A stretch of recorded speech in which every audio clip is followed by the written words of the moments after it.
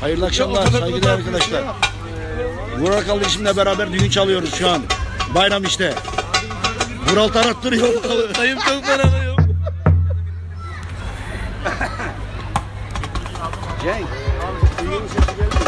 Evet arkadaşlar.